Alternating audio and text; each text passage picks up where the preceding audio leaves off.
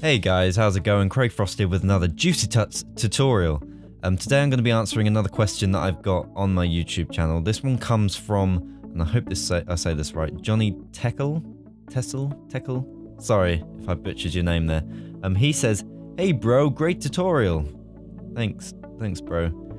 I was hoping you could maybe do a tutorial on mixing 23.97 frames per second footage with 60 frames per second footage. I am a little confused on the right workflow when mixing up footage frame rate in Premiere Pro. Thank you.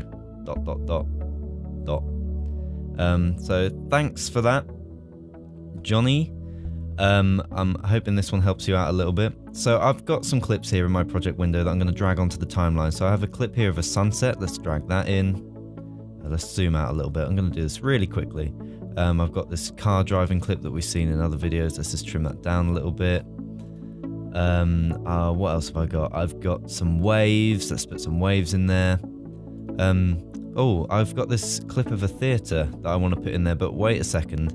This sequence is set up for these clips, the 29.97 frames per second, but this clip is 23.97 frames per second.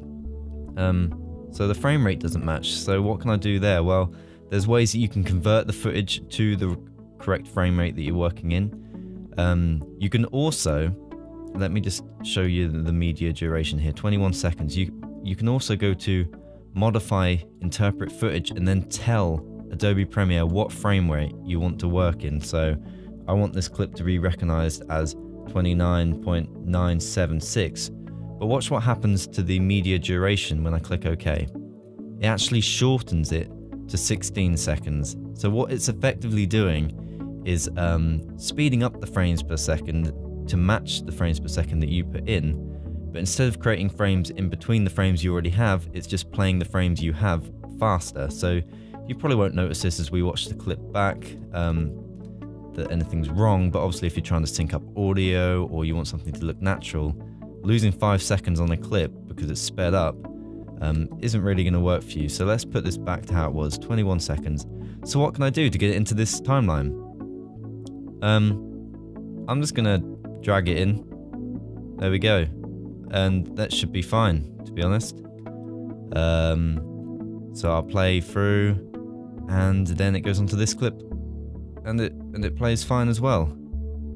Um, you might get some red some red there so you can just highlight the clip or just uh, the, the timeline and press the return key to start the rendering preview and it will render out fine and you can play it.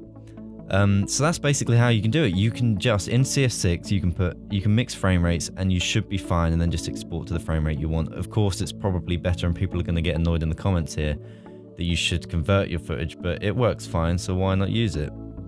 Um, I've not had a problem with it, and I know the question asked for using 60 frames per second in a lower frame rate. This will work exactly the same um, whichever way you go.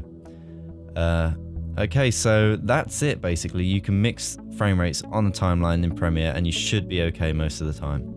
Uh, so thanks for watching. Remember to like, favorite, comment, subscribe, whatever you want to do to the video. Um, don't put the thumbs down. I know what you like. Don't do that. Um, follow on Twitter, twitter.com forward slash juicy tuts. Uh, hope you like this one and I'll see you next time. Well, I probably won't. Yeah, no, I won't be able to see you, but you'll be able to hear me. Uh, bye.